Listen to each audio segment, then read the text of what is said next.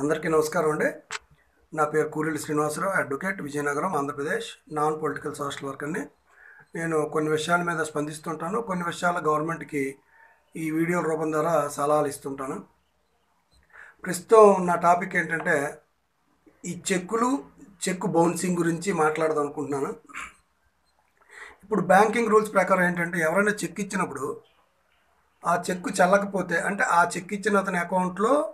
ఆ చెక్ మీద రాసిన అంత అమౌంట్ కానీ లేకపోతే చెక్కుని వీళ్ళు హానర్ చేయరు అంటే చెక్ను డిజానర్ చేస్తారు చేస్తూ ఈ చెక్ను ఎవరైతే ప్రజెంట్ చేశారో అతనికి బ్యాంకర్స్ ఒక ఫైన్ అనుకోండి లేకపోతే వాళ్ళ సిస్టమ్ ప్రకారం ఎంతో కొంత అతని అకౌంట్లోంచి డిడక్ట్ చేస్తారు ఎందుకు ఈ అతను ప్రజెంట్ చేసిన చెక్కు డిజానర్ అయింది అనేసి అంటే ఎలాగంటే ఉదాహరణకి ఏ అని అతను బీకి చెక్ ఇచ్చాడు లక్ష రూపాయలకి ఈ బీ తీసుకెళ్ళి అతని అకౌంట్లోని అతని అకౌంట్ ఉన్న బ్యాంక్కి ఈ చెక్ని ప్రజెంట్ చేస్తాడు వాళ్ళు వెళ్ళి ఏ ఎవరైతే చెక్ ఇచ్చారో వాళ్ళ బ్యాంక్కి ఈ చెక్ని పంపిస్తారో ఆ ఏ అనే అకౌంట్లో కానీ డబ్బులు లేకపోతే ఆ అకౌంట్లో డబ్బులు లేకపోతే వీళ్ళు ఏం చేస్తారంటే ఈ బి తాలూకా బి ప్రజెంట్ చేసిన చెక్ని డిజానర్ చేస్తారు అంటే బౌన్స్ అవ్వడం అందరికీ తెలిసిన పదం ఏంటంటే బౌన్స్ అవ్వడం చెక్ బౌన్స్ అవుతుంది చెక్ బౌన్స్ అయిన తర్వాత ఈ చెక్ ప్రజెంట్ చేసిన బి అకౌంట్లోంచి కొంత డబ్బులు ఆ బి అకౌంట్ ఏ బ్యాంకులో అయితే ఉందో ఆ బ్యాంకులో అయితే చెక్ ప్రెజెంట్ చేస్తాడు కాబట్టి ఈ బి అకౌంట్ నుంచి కొంత డబ్బులు ఫైన్ రూపం కింద కొంత బ్యాంక్ కట్ చేసుకుంటుంది ఇప్పుడు నాకు ఇందులో నేను చెప్పాల్సిన విషయం ఏంటంటే నేను చాలా రోజుల నుంచి అనుకుంటున్నాను ఇది అందరికీ మరి పెద్దలకు ఎందుకు ఇలాంటి ఆలోచన రాలేదో లేకపోతే ఇలా నేను చెప్తున్నట్టు ఇంప్లిమెంట్ చేస్తే వాళ్ళకి ఏమైనా ఇబ్బందులు ఉంటాయో నాకు తెలియదు కానీ ఇప్పుడు ఏ లక్ష రూపాయలకి చెక్ ఇచ్చాడు బీకి బి చెక్ ప్రజెంట్ చేశాడు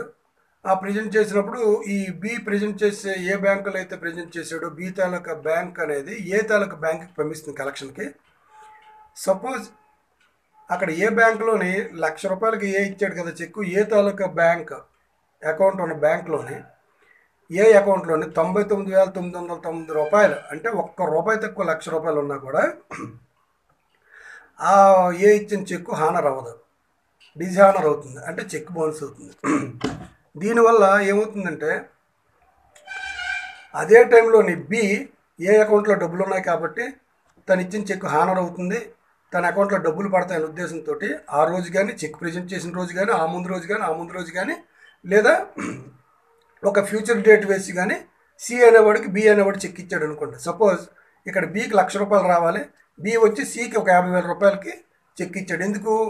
ఈ ఏ ఇచ్చిన చెక్కు హానర్ అవుతుంది బి అకౌంట్లో లక్ష రూపాయలు పడతాయి పడిన తర్వాత ఈలోన ఈ సి వాడు ప్రజెంట్ చేస్తే ఈ యాభై వేల రూపాయలు సికి వెళ్తాయండి కానీ ఇక్కడ ఏమవుతుందంటే ఏ ఇచ్చిన చెక్ బౌన్స్ అవ్వడం వల్ల ఇక్కడ బి అనేక ఇబ్బందుల్లో పడతాడు ఫస్ట్ ఇబ్బంది ఏంటంటే అక్కడ యాక్చువల్లీ ఆ రోజుకి ప్రజెంట్ చేసిన రోజుకి కలెక్షన్ వెళ్ళిన టైంకి ఒక రూపాయి తక్కువ ఉంది ఏ అకౌంట్లోనే తొంభై తొమ్మిది వేల తొమ్మిది వందల తొమ్మిది రూపాయలు ఉన్నాయి కాబట్టి అదే కానీ బ్యాంక్ వాళ్ళు తొంభై తొమ్మిది వేల తొమ్మిది వందల తొంభై రూపాయలకి హానర్ చేస్తూ అంటే బి అకౌంట్లో డబ్బులు వేస్తూ ఒక్క రూపాయికే చెక్ బౌన్స్ అయిందని ప్రకటిస్తే చాలా బాగుంటుందన్న ఉద్దేశం ఎందుకంటే ఇది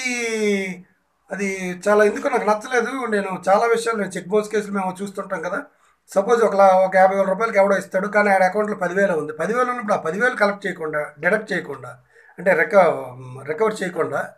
ఈ మొత్తం టోటల్ యాభై వేల రూపాయలు చెక్ బౌన్స్ అయిపోతుండడం వల్ల ఈ చెక్ పుచ్చుకున్న వాళ్ళకి చాలా ఇబ్బందులు ఎదురవుతున్నాయి అలాగే చెక్ ఇచ్చేవాడు కూడా కొంతమంది ఏం చేస్తారంటే పాపం మంచి ఉద్దేశంతో వాడు చెక్ ఇస్తాడు నిజంగా నా అకౌంట్లో లక్ష రూపాయలు ఉన్నాయి అనే ఉద్దేశంతో ఇక్కడ ఏ బీకి ఇచ్చాడు అనుకుందాం చెక్ ముందు చెప్పినాడు కానీ ఇప్పుడు రకరకాల మనకి చూడండి ఏటీఎం ఛార్జెస్ అంటారు లేకపోతే తెలియకుండా కొన్ని కొన్ని సమయాల్లో మన అకౌంట్లో డబ్బులు వెళ్ళిపోతుంటాయి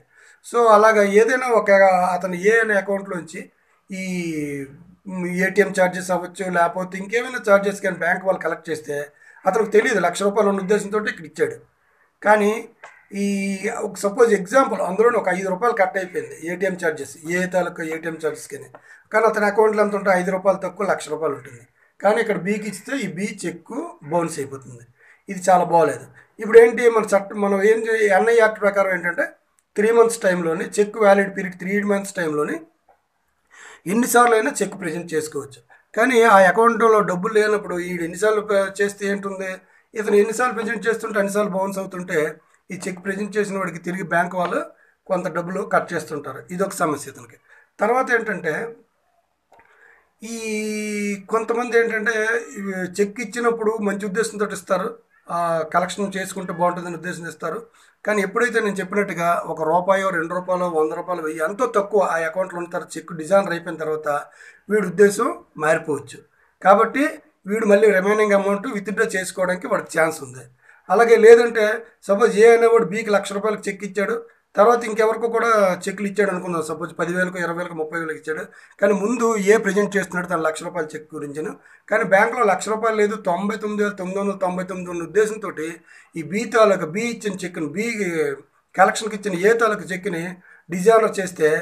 తర్వాత ఏ అనేవాడు మిగతా వాళ్ళకి ఆల్రెడీ చెక్లు ఇచ్చి ఉంటాడు కాబట్టి పదివేలు ఇరవై వేలకిను ఇతను మొత్తం లాస్ అయిపోతాడు కాబట్టి నేననేది ఏంటంటే ఇప్పుడు మన బ్యాంకర్స్ వాళ్ళకి ఏదైనా వాళ్ళ కస్టమర్స్ ఏదైనా లోన్ తీసుకొని ఈఎంఐ e అంటే నెలకు ఇరవై వేలు ఇరవై ఐదు వేలు ఈఎంఐ e పెట్టినప్పుడు ఆటోమేటిక్ మెషన్స్ తోటి అది కలెక్షన్ అయిపోతుంటుంది అలా కాకుండా ఇరవై ఐదు వేల రూపాయలు ఈఎంఐ e ఉండి కానీ వాడి అకౌంట్లో ఆ నెలలో ఇరవై వేల రూపాయలు ఉంటే బ్యాంకర్స్కి అధికారం ఉంది అది హోల్డ్ చేస్తారంటే ఆ ఇరవై వేలు కూడా వాడు పెట్టుకెళ్ళిపోకుండా ఉండడానికి హోల్డ్ చేస్తూ ఇరవై ఐదు వేలు హోల్డ్ చేస్తారు నాకు తెలిసి ఇరవై ఐదు వేలు ఎప్పుడైందో అది ఆటోమేటిక్గా ఈ బ్యాంక్ ఈఎంఐ కింద కట్ అయిపోతుంది అలాగే ఇప్పుడు రీసెంట్ మన మోడర్నైజేషన్